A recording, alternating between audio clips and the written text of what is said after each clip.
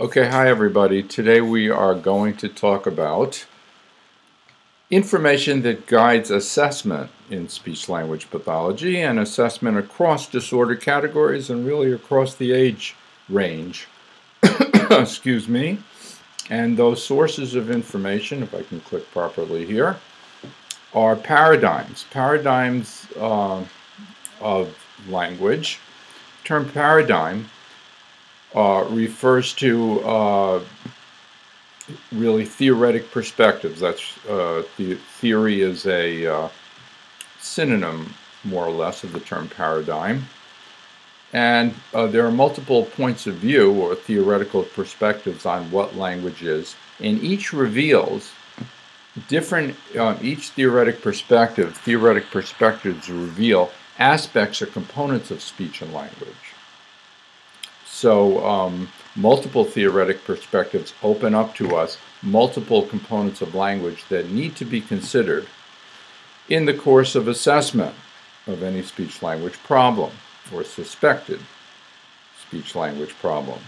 Now the four paradigms we're going to look at today, and there are many of them out there, the four that we're going to look at today are the developmental relational paradigm of Bloom and Lahey, the nativist relational paradigm of uh, Chomsky, information processing point of view on language, and I associate uh, one of the persons uh, who proposed this is Osher, and uh, that's the name I'm referring to here, and the uh, behavioral or operant model of language, uh, whose proponents are Skinner, B.F. Skinner, everybody's familiar with Skinner. And Lovaas, Ivar Lovaas, I'm sure many of you are familiar with uh, Lovaas's work in the area of autistic spectrum disorder and applied behavior analysis. We'll start with the uh, Bloom and Lahey point of view, which I know is so familiar to everybody here. Um, what is language according to Bloom and Lahey? Well, they reveal to us that language, um, this point of view reveals to us that language really is comprised of multiple, multiple components interacting with one another. Uh, those components include an, a, a, code, uh, a conventional system of arbitrary symbols, ideas about the world represented by that code, and communication the function of that code. Thus, Bloom and Lahey's conceptualization of language reveals three aspects or interactive subcomponents of language, subsystems of language, content, form, and use. Each are individual and separate on one hand, but they work together in, uh, as a system on the other. And the Bloom and Lahey framework also reveals that not only do we have to be concerned with the components of language in assessment, but we have to recognize that other behavioral systems, behavioral systems outside of language, interact with language to influence potentially speech language production or comprehension. Those behavioral systems are cognition, the sensory motor system, and the psychosocial slash affective system. So those behavioral systems also need to be considered in the course of speech and language assessment. The three systems that are intrinsic to language are content, form, and use. Thus, whenever we produce, or one produces, or, or acts to comprehend language, one is bringing together simultaneously content, ideation, form, the symbol system, and use, the reasons or pragmatics of expression or comprehension. So, uh, and to make matters more complicated, each of these subsystems intrinsic to language, content, form, and use themselves comprise subcomponents. More things to consider in the course of assessment. So content, which refers to uh, a synonym to the term content, is semantics, referring to the ideas that are spoken about or understood. We can uh, think about word knowledge, the conceptual and categorical elements of that, and relational knowledge, produced typically in sentence production or narrative production, and or uh, relational um, aspects of content include object relations, um, represented or um, pre, um, expressed through uh, Lahey's uh, content categories such as existence, action, locative action, etc. Categories of ideas individuals speak about, categories of ideas individuals sort specific expressions into, and event relations. Also idea categories, but these are more complex categories where two events are related according to time relations, temporal relations, causal relations. If you remember from the Bloom and Lahey model, epistemic or cognitive type relations. And this relational knowledge business involves the um, really the idea that um, ideas about the world that individuals express or comprehend through language are uh, involve um, a relationship making property of the mind, a universal relationship making property of the mind that influences um, the content content across languages and cultures universally, so that across cultures, across languages, individuals talk about objects, actions, locations, uh, attributes, states, quantity, um, time relationships, causal relationships, cognitive kinds of relationships, thinking, knowing, etc., communication relationships, etc uh, in the area of form, uh, or the within that uh, the system of form, we have phonology, morphology, syntax, discourse, uh, which refers to conversation, or narrative. And in all of these cases, we also have a uh, specific behavioral component, but also relational components. And then we have the area of use, also um, comprising subcomponents or subsystems.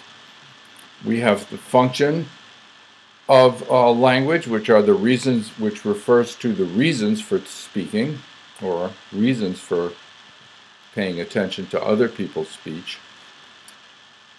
Uh, and that's the bottom line, bottom line function of language according to Bloom and Lahey express intentionality, express content of mind. Again, this directs us in, in uh, assessment to allow individuals to express intentionality as we assess their uh, language and communication abilities, to express intentionality, and for us to evaluate um, their uh, the intentions of the uh, individual. Use also that area also comprises context sensitivity of language, both linguistic uh, and non-linguistic uh, aspects of the conte of context. Linguistic uh, aspects of context involve the way others speak to us, speak to the individual, the linguistic interaction with others, and non-linguistic, the um, tasks, the materials, the um, situations that individuals uh, are surrounded by as they speak. And language is quite um, the context sensitivity of the individual, individual sensitivity to their surroundings influence language performance and leads us to keep in mind um, that uh, we really have to manipulate context in the in the course of assessment. The term that actually that we use to refer to the manipulation of context and the study of language or assessment of language uh, variation across different contexts is dynamic assessment. Dynamic assessment, which we'll be speaking further about in subsequent sessions. Another aspect of use is contingency, the connections between successive utterances, either produced by an individual or produced in um, interaction with others, in, in uh, conversation. The connection between one individual's utterances and the utterances of another. The ability to maintain topic, shift topic, initiate topic. And pragmatic devices that individuals use. The various adjustments in uh, the code, in, in ways of speaking uh, and presenting oneself in different situations. Pragmatic devices, very culturally uh, influenced typically. Implications for assessment. Well, the Bloom and Lahey model suggests that we leads us to assess language in naturalistic context. It it uh, leads us to allow clients to direct their own actions, set their own objectives, goals, and express intentionality in as we assess them. And we need we we are directed to analyze specific utterances according to the linguistic categories and relational organizational characteristics of the utterances. A Bloom and Lahey assessment doesn't give individuals credit for the specifics of their uh, speech and language. For example, if a child says, that's a cat, the child doesn't get credit for knowing cat. That utterance gets categorized according to the uh, type of uh, the type of utterance that it is, and really the the uh, relationship making property of the mind that is accounting for its produ- its uh, expression. So that uh, that's a cat gets categorized as existence, as reflecting the child's or the adult's awareness of existence of an object. Or if the individual says the cat is um, red, well, the utterance doesn't get credit for, the individual doesn't get credit for knowing that it's a cat or knowing that the color is red, that specific attribute, red, or even color, the individual gets credit for attribution, the category, the relational category that the utterance belongs to. The individual also gets credit for the syntactic category that it belongs to, the syntactic relation, subject verb complement, single verb sentence. The person also gets category, uh, um, gets credit for, gets assessed for. The reason, the, uh, the categorical reason for expression, comment on an act, um, on an event, or label an event not for the specific, perhaps, uh, individual reason for speaking, such as love of, a, of a excitement over a cat, if you're following me. And Lahey focuses on us on relational categorical aspects of content, form, and use. Quite specific um, things, aspects, components of language. And that is exactly what theoretical perspectives or paradigms focus us on. Specific aspects of language, uh, speech and language, that need to be considered in the course of assessment. Now let's look at language according to Chomsky, which again, it was a model that, uh, a language model that, like the Bloom and Lahey model, I have sub um, marked as or categorized as relational in nature, and um, you'll see why in a moment. Chomsky, interestingly enough, Bloom and Lahey refers to language, right, as a code whereby ideas about the world are represented. A code. A code refer, the code refers to the form of language, the specific languages that the individual may, or language that the individual may speak. English, Spanish, um, Urdu, whatever, the specific codes. But Chomsky, Chomsky refers to language as a relationship making property of the mind. Mind property. What does that mean? Well, it certainly directs us, alerts us to the fact that in the, in the course of assessment, we're assessing something that the mind does. We are actually assessing a function of the mind when we assess language, um, analogous to cognition, which is we all, I believe, think about as mind function, reasoning, um, awareness, problem solving, etc. Mind function. Well, language is mind function according to Chomsky. And uh, a, a function of mind that serves as a tool of thought, functions to express and comprehend language, so that according to Chomsky, there is no expressive and receptive language, there's just plain language. Language, which applies to production in interaction with the sensory motor system, and comprehension in interaction with perception. But um, expression and comprehension, production and comprehension, all reflect or a product of that relationship making property of the mind. And this relationship making property of the mind has universal characteristics. That is, uh, this relationship making relationship making applies to any language, any and all languages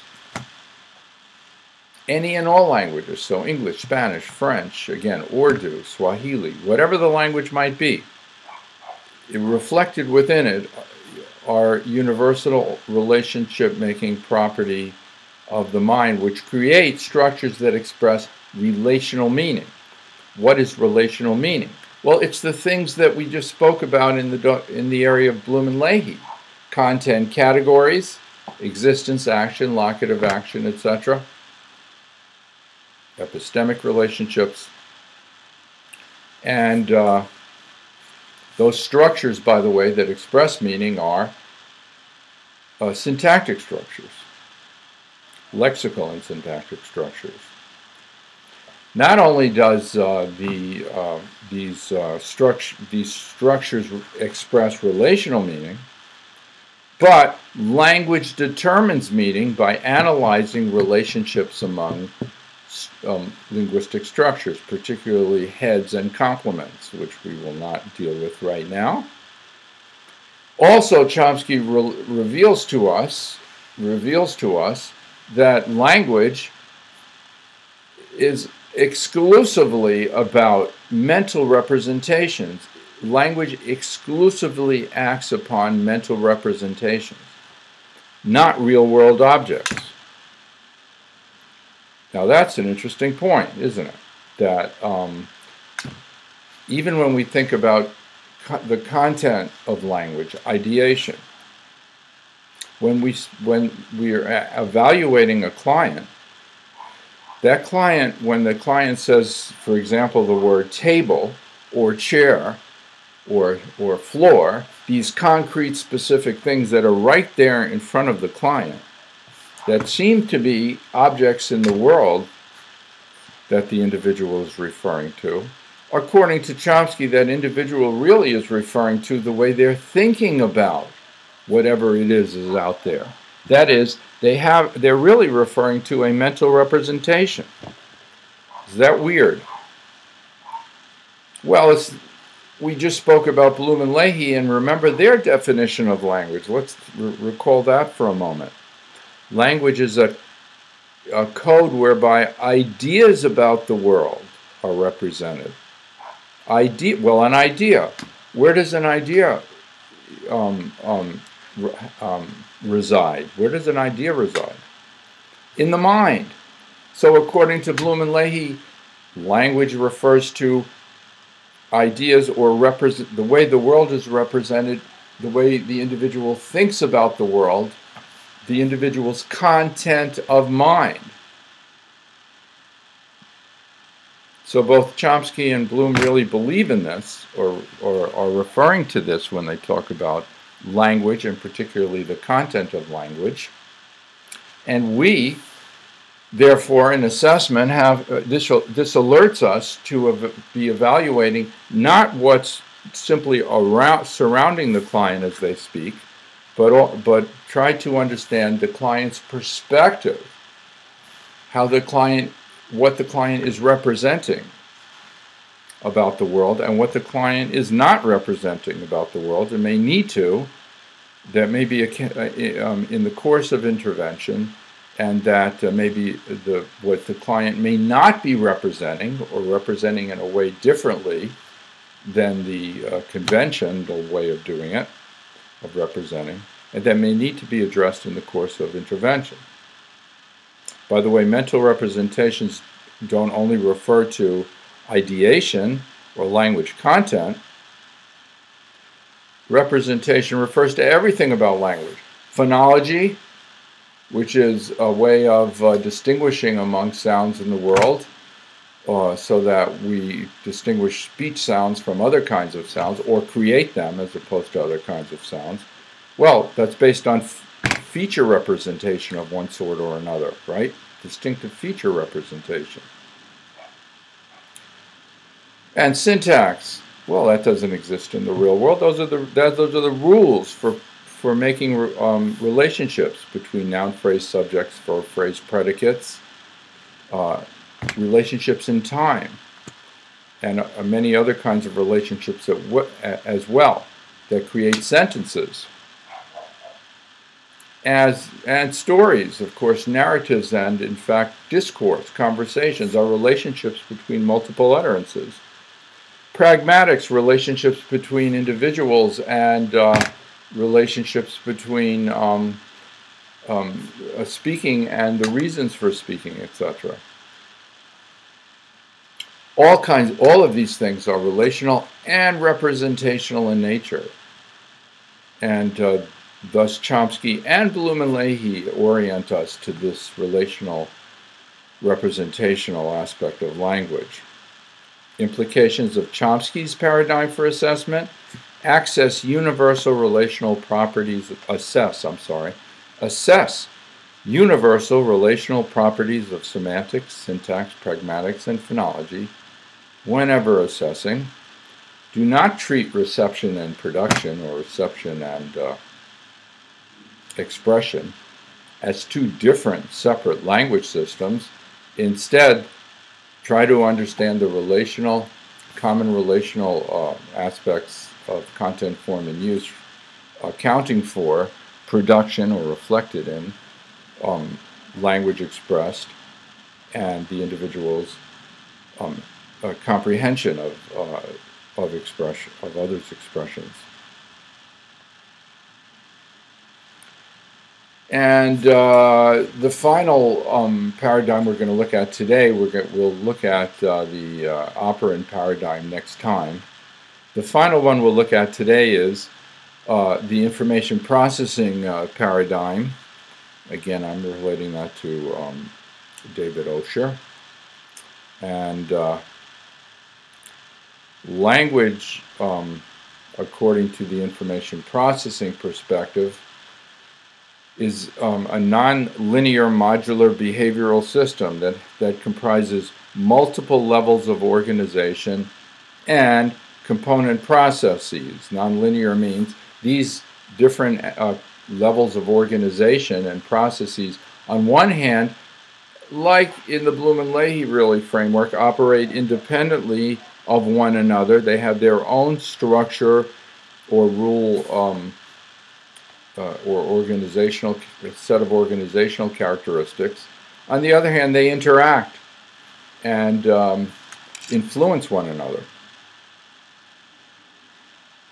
And uh, the levels of organization um, that are revealed revealed in information processing theories, and there are a number of these theories. I'm putting them together uh, into one root, one uh, category that I'm calling information processing theory. And we have uh, multiple levels of organization. They are pre-linguistic or perception and the sensory motor level of organization. Perception referring to determining uh, contrasts uh, uh, between things and uh, linguistic from non-linguistic things. Particularly, by the way, um, uh, the the uh, detection of phonemes, phonemes, which ultimately permit meaning, phoneme distinctions. And the pre-linguistic level of organization is also on the expressive side of things, sensory motor, which uh, is knowing by doing, as opposed to necessarily being conscious of something, and providing feedback in the process.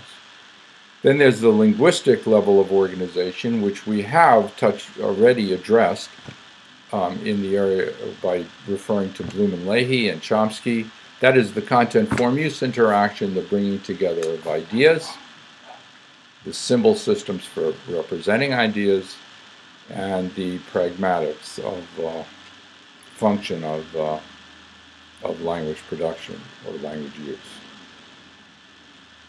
Then there's the metalinguistic level of organization, which involves not simply producing and comprehending language, which involves awareness. The linguistic level of processing involves awareness of the ideas we're speaking about, but nothing else. There's no particular reason, need, need to be aware of phonology, morphology, syntax, etc., unless you're a speech language pathologist or you're a child who's in school or an adult in school and in a in a uh, subject area that requires that we think about things like spelling, punctuation, etc., etc language structure, sentence structure, etc. But babies, by the way, when they start to speak, toddlers, etc., they just start talking. They don't think to themselves, well, pa, you know, mm, ah, mm, e. All right, that's mommy. Uh, or that's mommy. Hey, I have to produce, put a noun phrase subject together with a uh, verb phrase predicate so that I can say a sentence. No, it just comes out. But I do have to recognize mommy, right? Have that idea, have that that mommy represented up here. That's the linguistic level of processing. Meta, I say that in contrast to metalinguistics, whereas metalinguistics is the ability to think about language and recognize, by the way, this distinction between what is what is represented uh, linguist, uh, by language, the content, the ideas, and the uh, code itself so that recognizing that um, a cat, the word cat is not the cat. The cat is, or the word dog is not the dog barking behind me, woof woof, the animal, but rather it is uh, a word that uh, stands for that thing that's barking and uh, running around and eating a bone, etc. and that word is made up of sound, and it's a part of a sentence, etc., etc. Sound is articulated, blah, blah, blah, all of which is metalinguistics.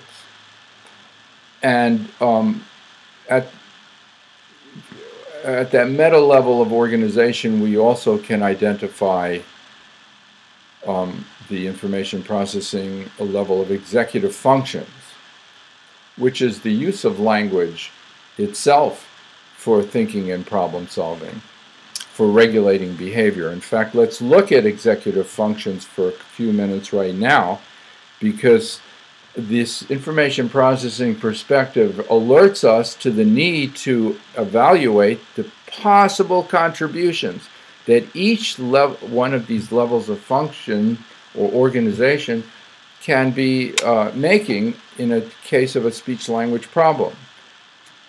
For example, um, a language learning disability can be a function of a perceptual problem, distinguishing phonemes, confusing, for example, puzz and buzz.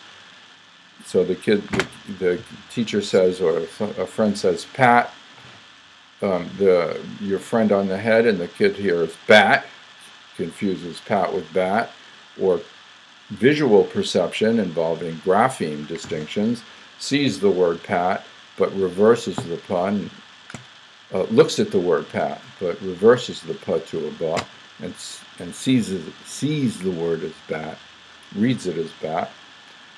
Pre-linguistic organi um, organization, the perception or um, there could be a linguistic uh, component to, um, of course, uh, any language problem, and that's the whole content form use business. There could be a meta-linguistic component to a problem, the, the ability to think about or use the feedback from uh, from uh, language production or to um, to reflect on on language itself.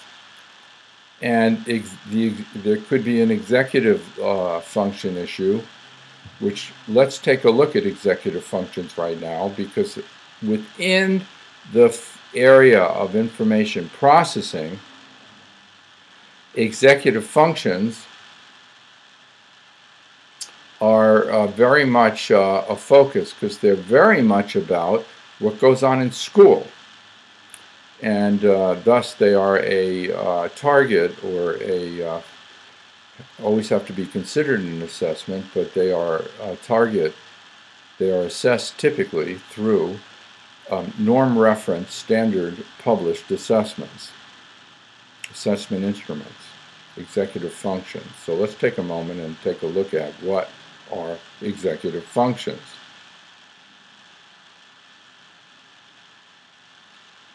Well, executive functions are a set of language-based behaviors used flexibly uh, to guide, a, monitor, and direct the success of one's performance.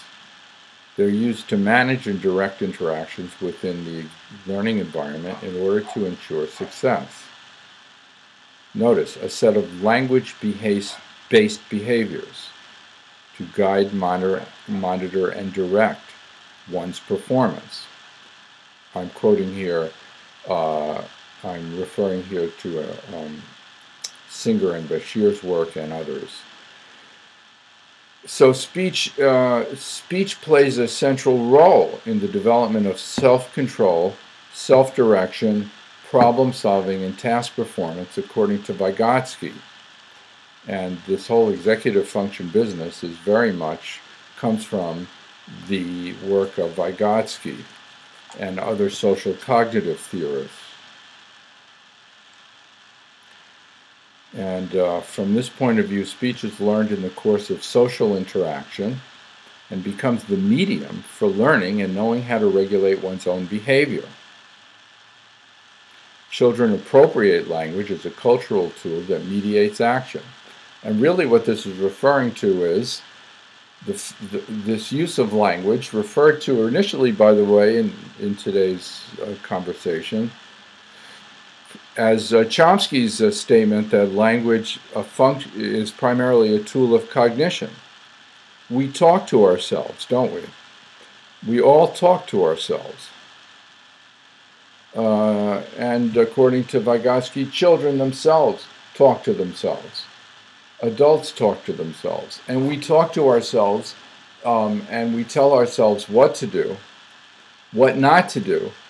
We're, in a sense, always monitoring our actions, and um, with reference to self-talk or through self-talk.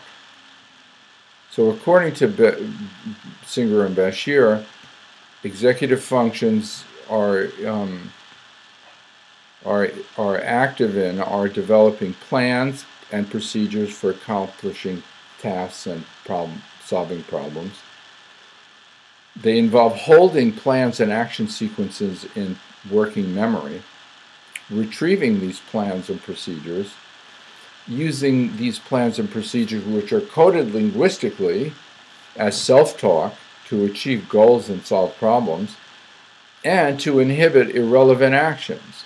And incidentally, I, I kind of skipped over the fact that inter, this infor, information processing perspective on language that yields executive functions also um, comprises processes that support support language uh, use and these executive functions.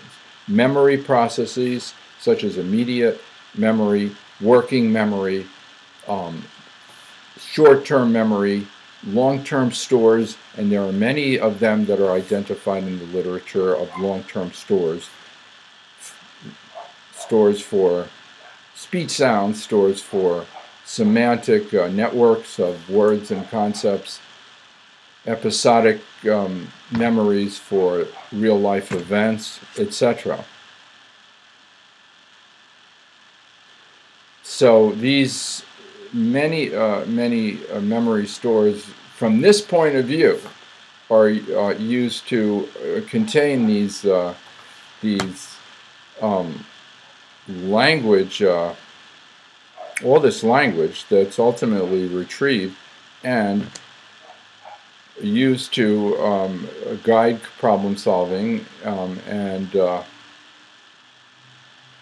guide a problem solving plan and uh, and learn some more implications for assessment well the information processing point of view leads us to evaluate perception and executive functions as well as linguistic structures in the course of assessment. And to, to um, utilize standard norm referenced assessment, which typically address executive functions. Uh, also linguistic structures to some extent, but usually in um, other directed or adult directed or clinician directed contexts, which is important in the course of dynamic assessment. So um, these three points of view that we reviewed so far about language, the Bloom-and-Lahey perspective, the Chomskyan perspective, and the information processing perspective give us tons of material to consider in the course of assessment of speech and language problems. They open up a whole multiple of variables. And um, as we create or construct a mental model for ourselves to apply or to, to use as a resource in the course of speech language assessment, these paradigms are very much um, valuable in, um, in revealing to us aspects of speech and language that need to be or um, are, are open themselves up for assessment. And in addition to that, I haven't yet gotten to that fourth model. Uh, that fourth model is the operant model, the behavioral model. And uh, we'll hold that for our next session.